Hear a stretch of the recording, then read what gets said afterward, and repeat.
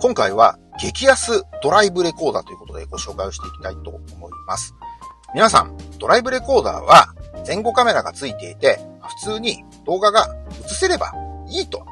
思われている方も多いと思います。要するに周囲の状況がざっくりとつかめて、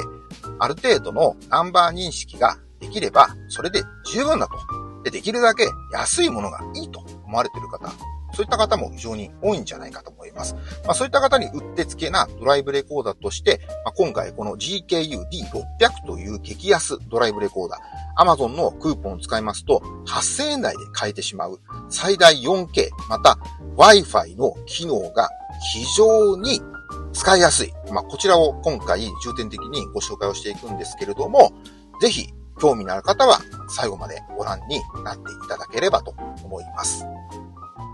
それではまず本体の説明ということでご紹介していきたいと思います。で今回こちらに関しましては NBOX に取り付けてるんですけれども、ちょうどフロントガラス右上のところに取り付けをしております。ここに単眼カメラがあるんですけれども、その横のところに取り付けをしております。非常にコンパクトになっておりますので、まあ、取り付けした後というのも非常にスッキリとした見た目になっていていいんじゃないかなと思います。また、一番気になるところはここなんですけれども、これ、パイロットランプが今点滅しているんですけれども、これは今、レコーディングをしているということで、ステータス表示が一目でわかるようになっているということになっております。で、また、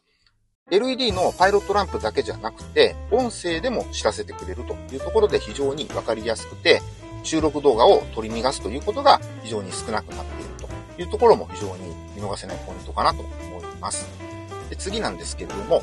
こちらの配線に行きますと、上が電源の配線、下がリアカメラに続く配線となっております。で今回こちらはシガーライターソケットから電源の方を取っております。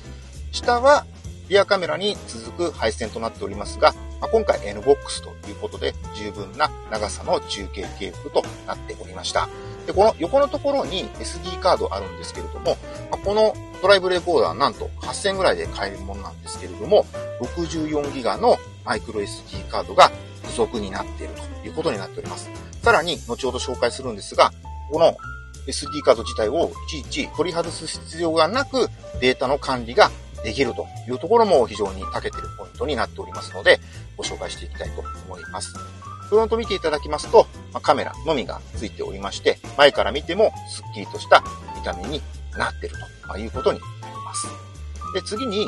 取り付け時の注意点ということで2点ほどご紹介をしていきたいと思います。1点目はですね、こちらなんですけれども、これ両面テープ使っております。私もドライブレコーダー扱ってるんですけれども、まだ暑い時期になっておりますので、両面テープの粘着性が落ちてしまって、ドライブレコーダーの重さに耐えられずに脱落してしまうっていうケースが結構多かったりします。ですが、こちらの GKU のドライブレコーダーに関しましては、本体自体も非常に軽くなっておりまして、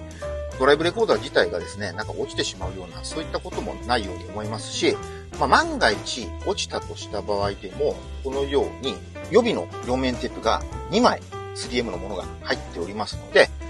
買っていただいた後も非常に安心して使っていただけるんではないかなと思います。取り付けの際注意しなければならない点というところなんですけれども、こちらです。これ今アプリ開いてありまして、でもう一度最初からやってみようと思うんですけれども、このアプリを使います。で、アクセスと。で、これのいいところはですね、なんと非常に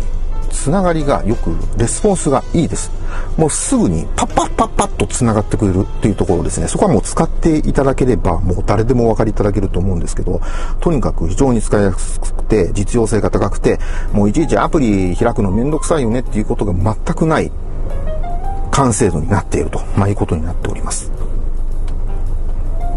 で、こう横にしていただくんですけれども、で、これが今画面なんですが、この状態で、この角度を合わせていく。で、これね、動き自体もですね、遅延がね、全くないというぐらい、まあ、ちょっとぐらいは遅延はあるんでしょうけども、全然遅延があるなっていうことをね、感じないぐらいになっておりますので、これ、この車自体はデジタルミラーとかついてないんですけれども、まあ、デジタルミラーとしてね、使うということもこれできるかなと思います。これ、後ろなんかもカメラちゃんとついておりますので、こ切り替えていただくと、このように、まあ、デジタルミラーという形で使うことができる。これは先日ご紹介しましたですね、マグセーフ対応のスマホホルダーで充電式なんですけれど、これと併用して使っていただくことによって、まあ、充電をしながらこれアプリを開いて、で、モニターとして、ま、使っていただくということもドライブレコーダーなんですけども、ま、そういった使い方もできると。まあいうことで、まあこういったところがですね、非常にコスパが高いなというところで、デジタルミラー別にいらないんじゃないのっていうふうに捉えることもできるかなと思います。で、この状態で後ろに関しましても、このアングル調整っていうのを行っていただくということが必要になってくるかなと思います。まあ、取り付けに関しましては違われたソケット式になっておりますので、誰でも簡単に取り付けが行えるんではないかと思います。で、話が前後したんですけれども、このドライブレコーダー何と言いましても、スマホのアプリが非常に使いやすいということです。それについてご紹介していこうと思うんですけれども、まずこのファイルですね。はい、今、ストップレコーディングと言いましたけれども、しっかりドライブレコーダーのステータスがですね、非常に分かりやすくなってるっていうところも、このドライブレコーダーのいいところかなと思います。で、目玉なのは何かと言いますと、まあ今や当たり前にはなってるんですけれども、かなりね、ハイエンドなドライブレコーダーを買わないと、そういった機能がついてこないということも今まであったわけなんですけど、例えば、この収録したドライブレコーダーのこれ映像いっぱいありますけれども、非常に見やすくなってるっていう点になりますね。で、例えば、これもうすでにダウンロードしてるところなんですけれども、こうやってダウンロードって出てくる。だからすごくわかりやすい。例えば、どこかを携帯に保存したいっていう場合があると思うんですけど、まあ、そういった場合はこのダウンロードっていうところを押します。そうしますとですね、もう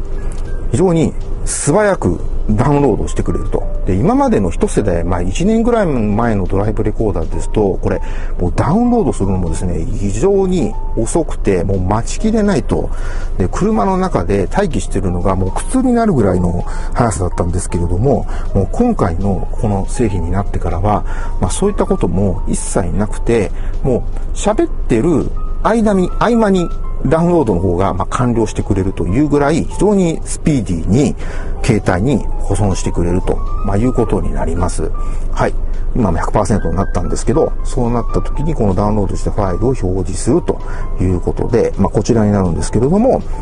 まあ、これで保存とスマホに保存されたと、まいうことになります。これによってですね、わざわざ SD カードを取り出す必要もなくて、もうずっと差しっぱの状態でドライブレコーダーを使うことができますし、まあ、収録動画自体を管理すると、まあ、いうことができると、まあ、いうことになります。まあ、そういった点がですね、この GKU D600 の長けているポイント。で、また、ハイエンドのドライブレコーダー等でも、これは当たり前の機能になってるんですけれども、まあ、こういった機能がついているだけでも、もう十分8000ぐらいの価値のあるドライブレコーダーになっているということが言えるんじゃないかと思います。で、スタートした時はちゃんとスタートレコーディングっていう形で知らせてくれます。で、またカメラの設定なんですけど、こちらの方も非常にシンプルになっておりまして、音声を録画するかしないか。で、またこれ、先ほどのスピーカーの音ですね。調整ができます。こういった形で。で、録画の画質に関しましては、2.5K 足す 1080p、1080p、1080p。で、また、フロントのカメラだけの撮影でしたら 4K 撮影もできるようになります。配線を抜いてみようと思うんですけれども、そうすると 4K が選べるようになります。今抜きました。で、一度、アプリの方もう一度。はい。これでもう一度覗いてみようと思うんですけれども、はい。このようにもう 4K になってる。はい。4K、2.5K、1080p ということで、フロントカメラだけでしたら、この3つ選べるようになっていると、まあ、いうことになります。で、また、後ろのカメラ戻します。はい。で、また、見ていただきますと、はい。非常にフリーズすることもなくて、まあ、システム自体も非常にクイックであるということがお分かりいただけるんじゃないかなと思います。で、で、また、録画ファイルの長さ自体ですね。1分、2分、3分というのも選べますし、で、また、この周波数ですね。50、60Hz ということで、で、関東なので私の方は 50Hz にしてあります。で、また、こちらはね、衝撃検知っていうところなんですけれども、高感度、中感度、低感度をオフということで設定ができるようになっております。また、下の方行きますと、まあ、使うところとしては、ここのフォーマットの部分ですね。ということで、非常にシンプルな機能ということになっております。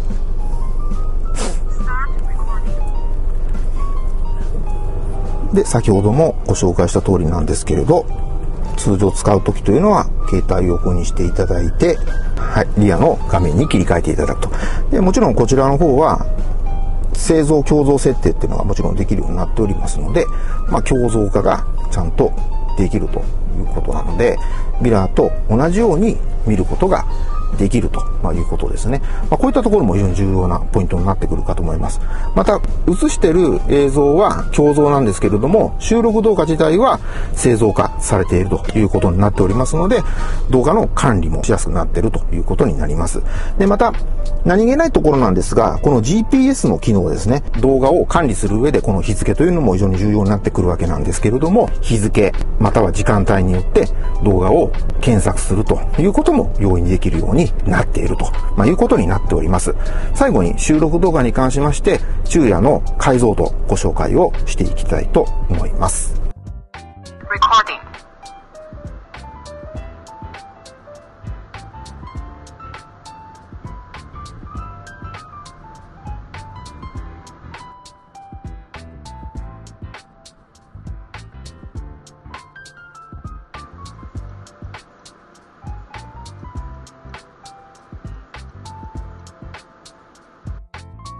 Recording.